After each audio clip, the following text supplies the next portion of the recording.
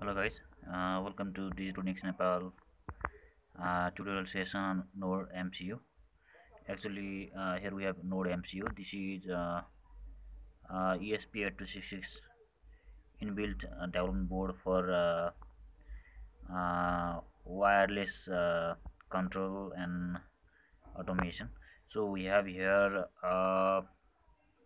power supply.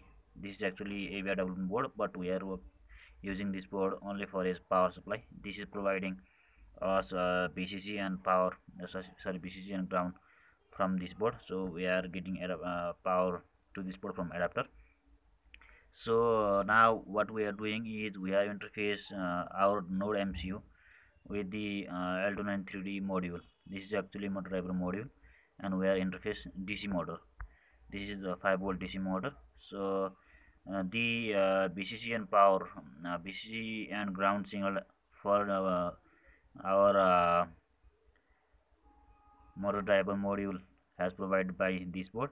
And we also getting our VCC B in and ground from this board for node MCU actually we can operate a node MCU uh, with VCC and ground uh, sorry Vin and ground. Uh, we are getting Vin 5 volt and ground 0 volt to M node MCU this operate this board. uh, we can also operate this board by using USB uh, cable but uh, the current from USB cable will be very low so we are using Vin as an input source.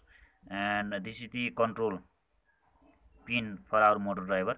Actually uh, our LED is blinking alternatively and in that uh, delay of one second motor uh, will be operated. Then after motor will be off so let's begin with our uh, demonstration. This is our motor driver uh, control actually. If we uh, click this uh, on this uh, power switch then it will get L293D will provide the out voltage. Output voltage or power to motor for revolve. So let's check our motor. Actually this uh, LED blink and motor is alternative in our program. So it is uh, working alternatively. So this is the basic setup for uh, node MCU for uh, uh, motor control. However we are going to test uh, this node MCU with Wi-Fi control.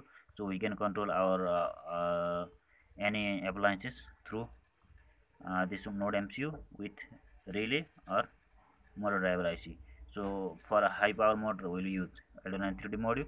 And for AC appliances we are going to use relay module.